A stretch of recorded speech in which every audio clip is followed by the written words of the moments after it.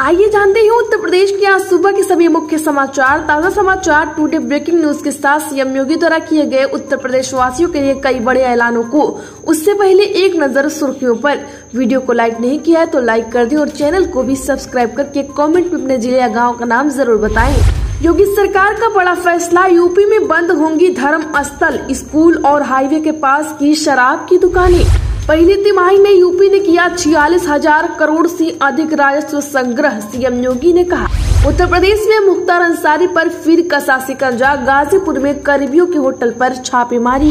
उत्तर प्रदेश में सोनेलाल की जयंती पर 2024 के लिए संदेश देंगे एनडीए नेता शाह योगी और मांझी जैसे नेताओं का आज मंच पर लगेगा जमावड़ा। यूनिफॉर्म सिविल कोड का सुबह सपा ने किया समर्थन, ओपी राजभर बोले, देश में एक कानून होना ही चाहिए। यानी अचम कर्मियों को अब इस तारीख तक मिल जाएगी सैलरी। लेटल तीफी की हाल में होगी कार्रवाई। यूपी के स्कूलों को लेकर क्या करने जा रही योगी सरकार? 5 जुलाई को लेकर लिया गया फैसला। उत्तर प्रदेश में गंभीर रोगों से ग्रस्त मरीजों के लिए जल्द 16 अस्पतालों में खुलेंगे ICU. Deputy CM Brajesh Pathak ने दिया निर्देश। उत्तर प्रदेश के इस शहर में गन्ने पर महामारी, चीनी चट कर रहा पोखा बोई। कांवड़ यात्रा 2023 पर सामने आया। बड़ा अपडेट, ट्रैफ़िक रहेगा डाइवर्ट ऐसे भर सकेंगे हरिद्वार, हर की पैड़ी पर गंगा जल। मेट्रो में दो शराब की बोतल का नियम यूपी में पड़ सकता है भारी जानिए क्यों? एक बाइक पर बैठे सात युवक स्टंट करने का वीडियो वायरल, पुलिस ने काटा सोलह हज़ार का चलान। भीम आर्मी चीफ चंद्रशेखर आज़ाद पर गोली चलाने के मामले में पुलिस एक्शन अम्बाला से चार लोगों को किया गया गिरफ़्तार। आज हो जाए लोकसभा चुनाव तो किसकी बनेगी सरकार सर्वे में चौंकाने वाले नतीजे? कांग्रेस या बीजेपी को जानिए कितने मिलेंगी सीटें? कांग्रेस नेता ने भी कर दिया समान नागरिक संहिता का समर्थन, बोले जय श्री राम इगलास में रोज़गार मेला, छह जुलाई को तेईस कंपनियाँ दो हज़ार पाँच सौ इक्कीस पदों पर करेंगी चयन। बारिश से दिल्ली, मुंबई, बिहार अगले पाँच दिनों में देश भर में बरसात का ऐसा ही रहेगा हाल। मिशन 2024 में वाराणसी को तीन हज़ार करोड़ रुपए की सौगात देंगे पीएम मोदी। यूपी के दूसरे सीपेट का करेंगे लोकार्पण। उत्तर प्रदेश में बीएचयू में जबड़े की थ्री स्कैनिंग शुरू। पूर्वांचल में ऐसी पहली मशीन। इतने रुपए में होगी जाँच। उत्तर प्रदेश में कानपुर, प्रयागराज, एलिवेटेड हाईवे धसा, सात फुट चौड़ा बना गड्ढा। कई किमी लंबा लगा है जाम। बवाल के बीच सोशल मीडिया पर योगी को फ्रांस भेजने की मांग की। ट्विटर पर छिड़ी सियासी जंग। चलिए अब एक करके जो बड़ी खबरें हैं, उनको जानते हैं विस्तार से। उससे पहले आप किसी भी ज़िले गाँव के रहते हैं तो कमेंट में अपने ज़िले गाँव का नाम ज़रूर बताएँ।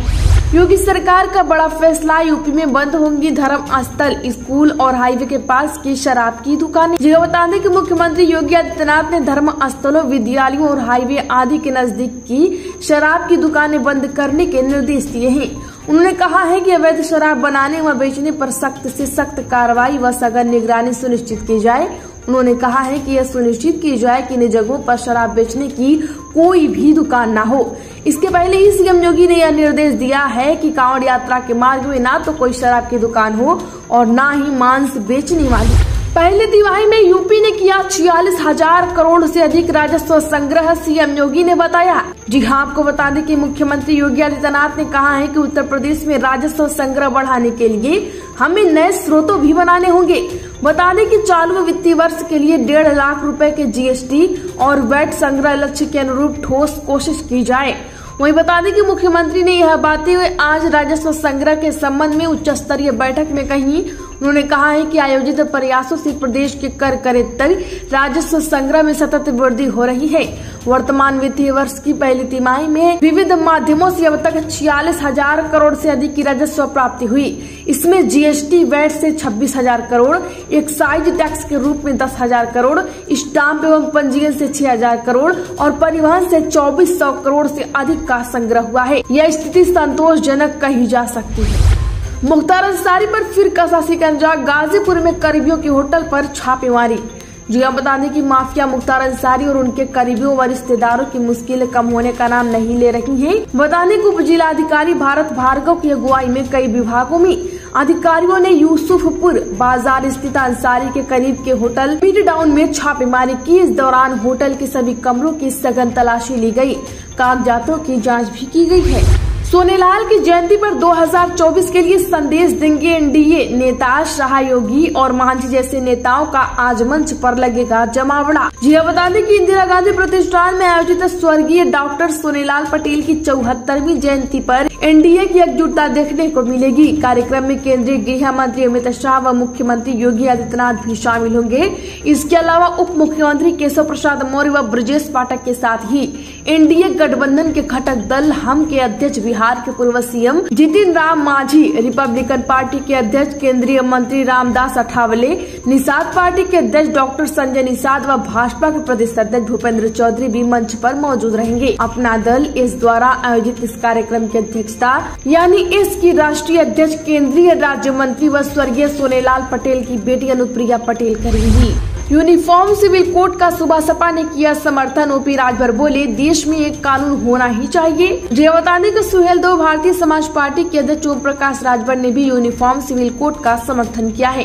उन्होंने कहा है कि देश के सभी नागरिकों के लिए एक कानून होना ही चाहिए। विदेशों और देश के अंदर गोवा में यदि कॉमन सिविल कोड लागू है तो देश के अन्य राज्यों में क्यों नहीं? सुबह सपा इसे लागू किए जाने का पूरा समर्थन करेगी। आपको बता दें तो आज उन्होंने कहा है कि आपको बता दें कि रविंद्रालय सभागार में आयोजित पार्टी की प्रदेश स्तरीय बैठक को संबोधित करते हुए राजभर ने कहा कि विपक्षी पार्टियाँ जब सरकार में होती हैं, तब उन्हें पिछड़े आते पिछड़े और दलित क्यों नहीं याद आती? सरकार में रहते हुए जातिगत जनगणना की याद नहीं आई, सामाजिक न्याय समिति की याद नहीं आई, सरकार से बाहर होते ही इन्हें सब याद आने लगता है। यह इनके दोहरे चरित्र को उजागर करता है। एन एच एम कर्मियों को अब इस तारीख तक मिल जाएगी सैलरी, लेटल तीफी की हाल में होगी कार्रवाई। यह बता दें कि नेशनल हेल्थ मिशन के तहत संविदा व आउटसोर्सिंग पर तैनात कर्मचारियों को हर महीने की सात तारीख तक वेतन मिल जाएगा। लेटल तिथि होने पर एजेंसी पर शिकंजा कसा जाएगा। इस संबंध में एनएचएम निदेशक ने आज आदेश जारी कर दिया है। वहीं प्रदेश के एनएचएम के तहत जननी सुरक्षा योजना, बाल स्वास्थ्य कार्यक्रम, टीकाकरण, अंधता नियंत्रण समेत दूसरे कार्यक्रमों का संचालन हो रहा है।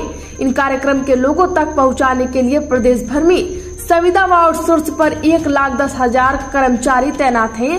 इनमें doctor, nursing staff, ASHA, NHM, x ray, lab technician, paramedical व दूसरे श्रेणी के कर्मचारी हैं। यूपी के स्कूलों को लेकर क्या करने जा रही होगी सरकार? 5 जुलाई को लेकर लिया गया फैसला। क्या बता दें कि ग्रीष्मावकाश के बाद सोमवार से स्कूल खुलते ही योगी सरकार प्रदेश के सभी प्राइमरी विद्यालयों एवं मदरसों में पठन पाठन के साथ ही मध्यान्ह भोजन वितरण, अवस्थापना सपोर्टिव सुपरविजन एवं अकादमिक कार्यक्रमों के क्रियान्वयन समेत अन्य मूलभूत सुविधाओं को सुनिश्चित करने में जुट जाएगी। इसी क्रम में सरकार ने 5 जुलाई से 31 जुलाई की अवधि में सभी विद्यालयों में विशेष निरीक्षण से अभियान संचालित किए जाने का निर्णय लिया गया है। निरीक्षण के दौरान देखा जाएगा कि विद्यालय में शुद्ध पेयजल, मिड डे मील, शौचालय समेत अन्य ज़रूरी सुविधाएँ प्रदान की जा रही है या नहीं? इसके अतिरिक्त शिक्षक समय पर आ रहे हैं या नहीं? और छात्रों की संख्या एवं उन्हें पाठ्य पुस्तकों के वितरण से संबंधित विवरण की भी जाँच की जाएगी। गंभीर रोगों से ग्रस्त मरीजों के लिए जल्द 16 अस्पतालों में खुलेंगे ICU, deputy CM Brajesh Pathak के निर्दिया निर्देश। यह बता दें कि यूपी में आने वाले समय में कई क्षेत्रों में गंभीर मरीजों को आईसीयू बेड के लिए भटकने की ज़रूरत नहीं पड़ेगी। इसके लिए राज्य सरकार 16 जिलों में आईसीयू की सुविधा शुरू करने जा रहा है। वही बता दें तो डिप्टी सीएम ब्रजेश पाठक ने इस संबंध में विभागीय अधिकारियों को निर्देश दिए है। उन्होंने जल्द ही आईसीयू की सुविधा को पूरे प्रदेश में लागू करने को कहा है। यूपी के शहर में गन्ने पर महामारी, चीनी चटका रहा पोखा बोई। जी हाँ बता दें कि देश में सर्वाधिक उपज और चीनी उत्पादन में उत्तर प्रदेश का नाम रोशन करने वाला गन्ना अचानक पोखा बोई, यानी फफूदी नामक रोग की चपेट में आ गया है। गन्ने की फ़सल में लगे इस रोग ने गन्ना विभाग के साथ ही किसानों की नींद उड़ा दी है। जानकारी के अभाव में किसान इस रोग को चोटी बेधक रोग मानकर कीटनाशकों से उपचार कर रहे हैं, जबकि पोखा बोई को काबू करने के लिए फफूद नाशकों की ज़रूरत होती है। किसानों को आर्थिक रूप से हो रहे नुकसान के बचाने के लिए गन्ना विभाग न केवल किसानों को जागरूक कर रहा, बल्कि इस रोग से निपटने के टिप्स भी दिए जा रहे हैं। सीएम योगी का बड़ा निर्देश, लोगों को मिले सही बिजली, बकायेदारों को भी मिल सकती है खास सलाह। जी हाँ बता दें कि मुख्यमंत्री योगी आदित्यनाथ ने निर्देश दिया है कि उपभोक्ता को सही बिजली बिल दिया जाए। बिजली चोरी करने वालों के खिलाफ सख्त कार्रवाई की जाए, लेकिन जाँच के नाम पर किसी भी उपभोक्ता का उत्पीड़न बर्दाश्त नहीं किया जाएगा। उत्पीड़न करने वालों के खिलाफ शिकायत मिली तो सख्त कार्रवाई की जाएगी।